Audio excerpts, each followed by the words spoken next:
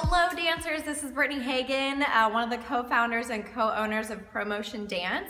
And I just wanted to talk to you guys today about the top three audition mistakes that people make. We see these mistakes over and over again. We get a lot of questions on what do I focus on in preparing for a professional audition. And so today we wanted to answer that.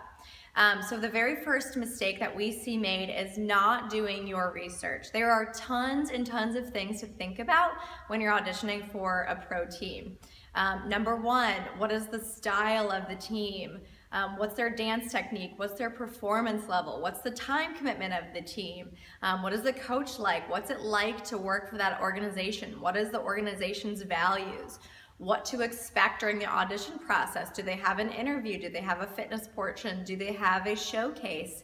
You need to know all of the thing, all of these things going into it before you even step foot into an audition prep workshop. And we'll talk you through all of that in our audition uh, blueprint. And you can you can read through exactly what pieces of research you need to know and our find our found research after doing this for 25 years. Um, the second thing that you need to know is not prepping smart. So without that research, we've seen many, many girls not prepare for interview in the right way that they should. We've seen girls prepare for six months practicing a style of dance that that team doesn't really do. Um, we've seen somebody not focus on fitness when that was one of the core values of the team is being super fit and super in shape. Um, so making sure that you have that research to back you up and go off of um, is super, super important.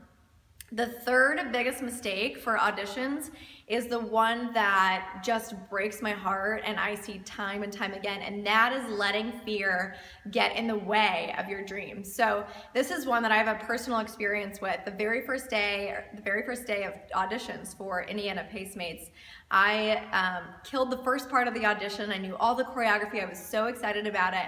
We went into the second cut, into round two, and I walked in and they had cameras right there, they had lights, they had a panel of judges and the coach, and I completely froze. Uh, my mind went blank, I couldn't remember the dance.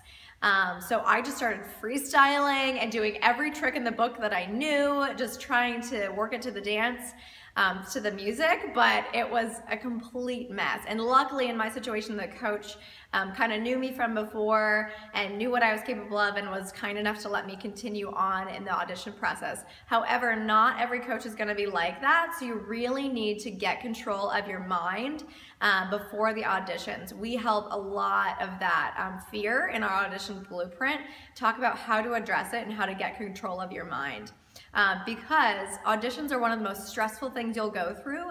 You have so much to think about. You have your fitness to think about. You have interview. You have style and technique, performance, memory.